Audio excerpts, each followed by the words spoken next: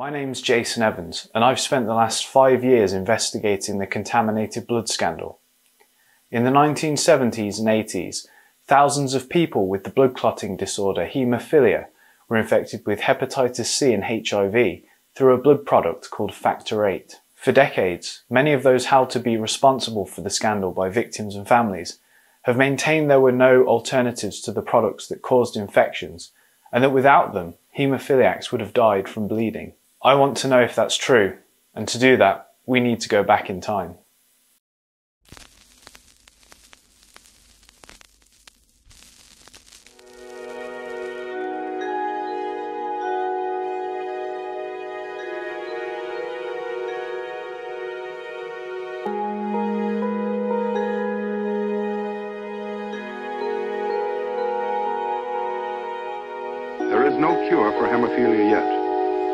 Someday in the near future, the hemophiliac may be able to control his disease by injection.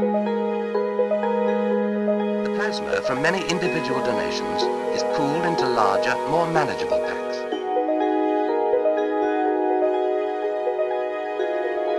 Was it worth stopping the treatment because it was was terrible? The precautionary principle might suggest we should have stayed with cryoprecipitate, I suppose.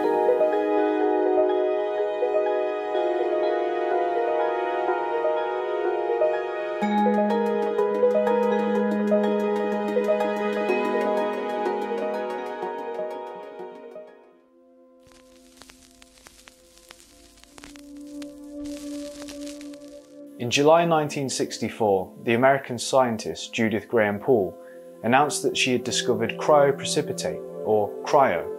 It was a new treatment for haemophilia, and until the 1970s, it would be the primary treatment for the condition. Gary Webster, a haemophiliac, recalls his experience. I certainly had cryo from 1968, 67, 68, all the way up till 1975 when I started college. Cryo was quickly hailed as a miracle treatment for haemophilia, and Judith Pool had earned her place as a medical pioneer. But less than a decade later, cryoprecipitate was virtually abandoned.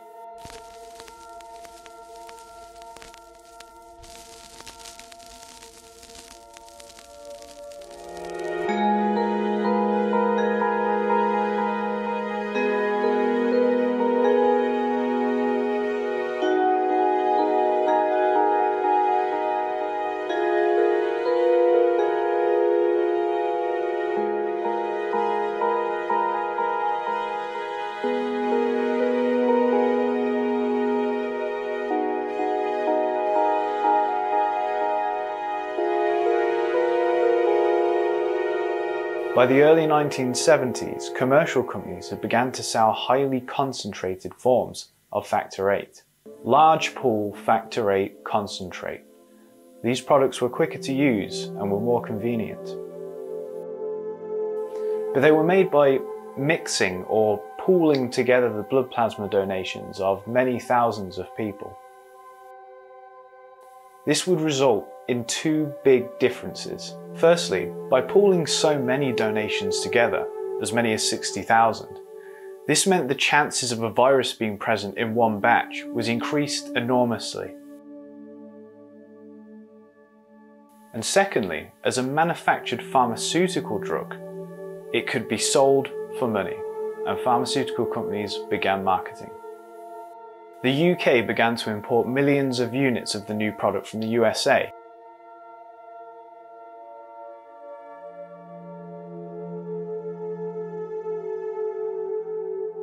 where donors were often paid for their blood plasma, which was then used to make the new products.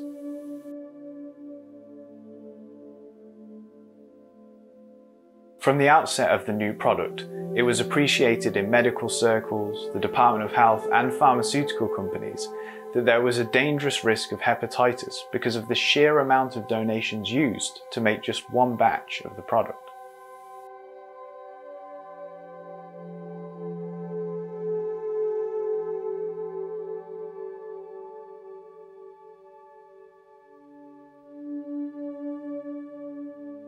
Despite the risks, the convenience of the new product seemed to outweigh safety concerns, and in the early 1980s, a new threat emerged.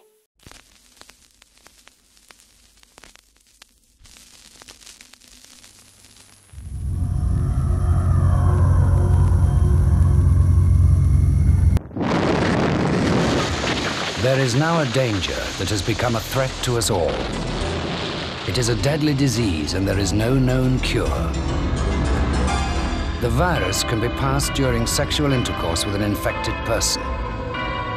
Anyone can get it, man or woman. So far, it's been confined to small groups, but it's spreading. So protect yourself. And read this leaflet when it arrives. If you ignore AIDS, it could be the death of you. So don't die of ignorance.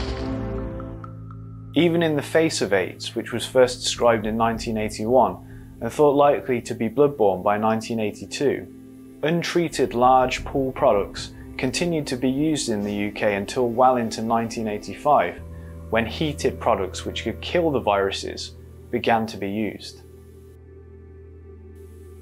The result was that virtually every haemophiliac who used these products was infected with hepatitis C, which can cause severe liver damage, including cancer.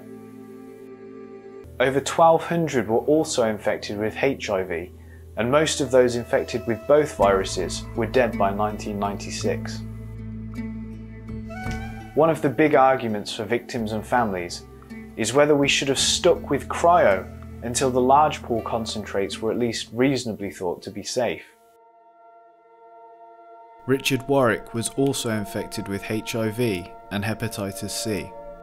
I think if we'd been, been made aware of the problems with um, commercial concentrates and the, the possible dangers of using it, then I would have certainly, without, without in a heartbeat, I would have gone back to try using cryo. If you offered me, me now, yeah, of course I would.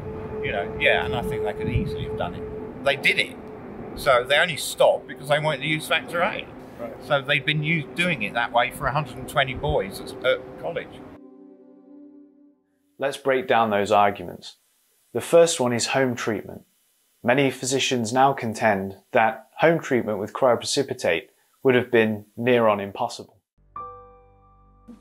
Did you yourself have any direct experience of using cryoprecipitate for home treatment? No. Were you aware at the time, so 1980, early 1980s, that cryoprecipitate had been used, it would seem relatively successfully, for home treatment in the Royal Free Hospital and, and also in the Birmingham area? I knew that people, um, small number of centres had used home treatment. I didn't know anything about the, the details.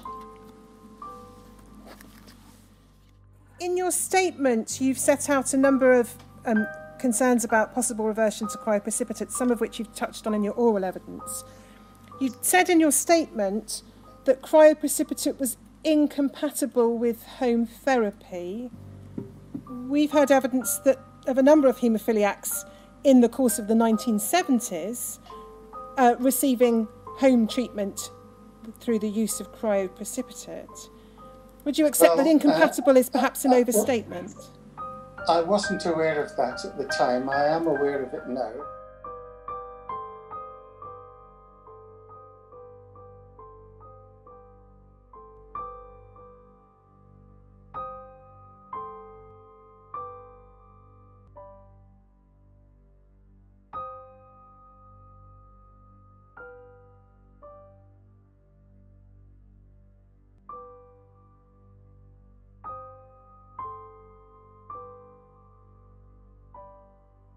Not only was home treatment with cryoprecipitate possible, it was done.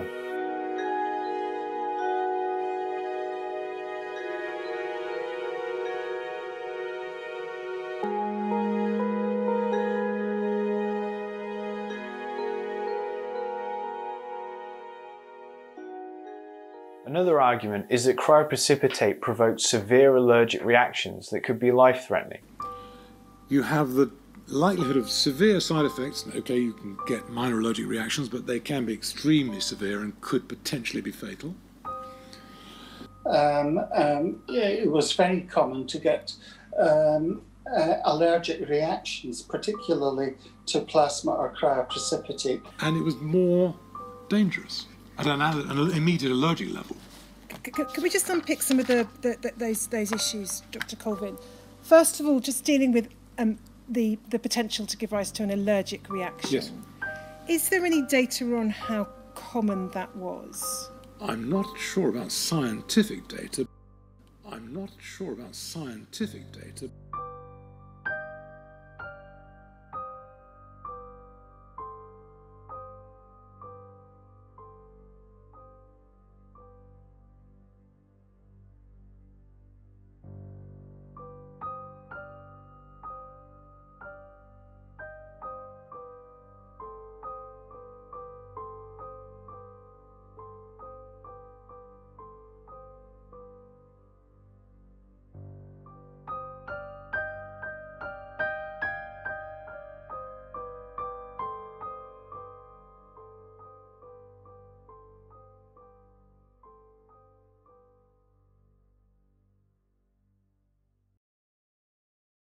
Now, although some reactions with virtually any drug are possible, the reality is that it seems severe reactions with cryoprecipitate were exceedingly rare. But the development of devices like the butterfly has meant that a once difficult procedure has been remarkably simplified. Next is the assertion that cryo was really difficult to make, mix or prepare. It's extremely inconvenient to make up. It, it becomes quite impossible to use it. Basically, um, cryo was um, uh, a large volume. It took a lot of time uh, to draw up. It disenfranchised the family.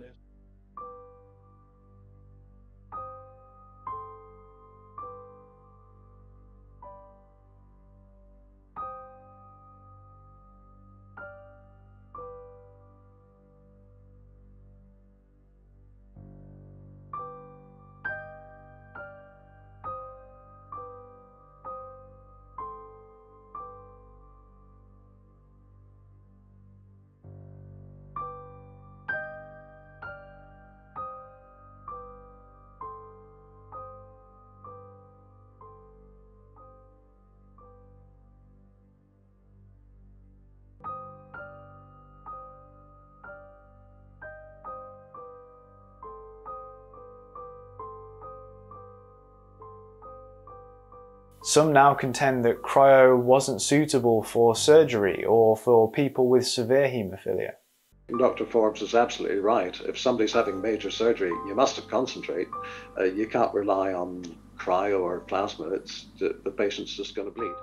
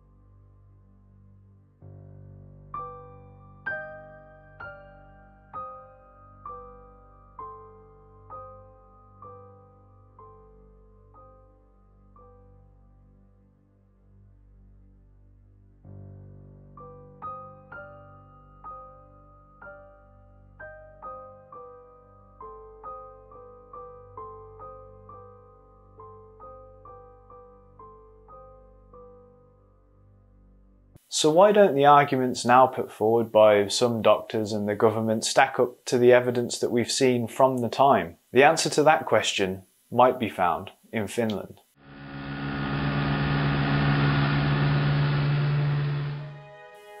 Unlike the UK, most haemophiliacs in Finland were maintained on cryo throughout the 70s and 80s until heated products became available.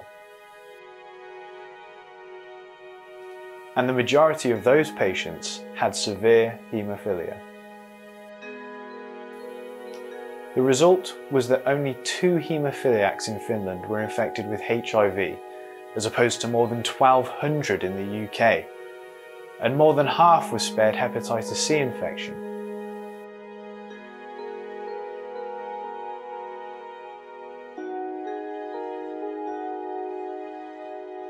In 1990, Vesa Rasi, a former doctor at the Finnish Red Cross Blood Transfusion Service, wrote, Cryoprecipitate was long used as the sole form of factor VIII substitution therapy.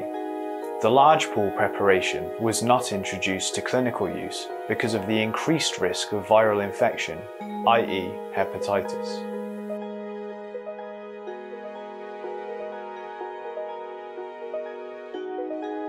With Finland sticking to cryo and proving it wasn't only possible, but made a huge difference. Why has there been a new narrative in the UK to destroy the reputation of cryo, even by those who seem to truly believe what they're saying? Some of those impacted that I've spoken to have accused the new narrative of being an outright lie, but I think there might be something deeper going on.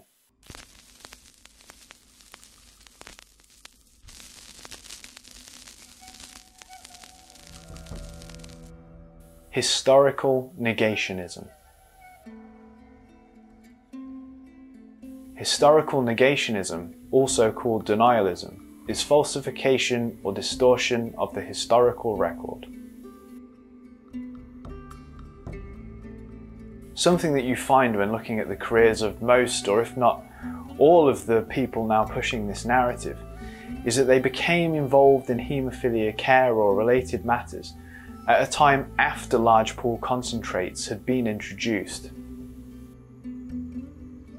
The book Blood Product Therapy and Haemophilia was edited by Christine Lee and Peter Kernoff, who were both working at the Royal Free Hospital in London during the time in which infections were taking place. It was in part funded by one of the US manufacturers of Factor VIII, Alpha, and purports to be an authentic record of the history of haemophilia treatment. But there's just one problem. When analysing the papers contained in this book, aside from Judith Pool's 1964 discovery of cryo, none of the papers seen in this film are included in the book. For all intents and purposes, cryo has been written out of the history of haemophilia treatment.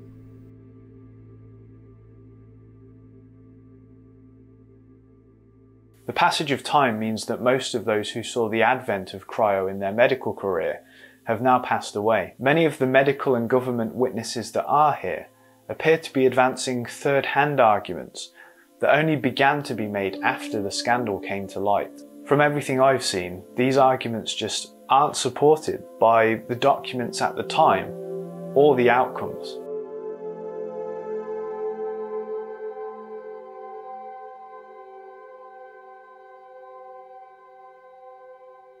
In other words, the historical record has become distorted.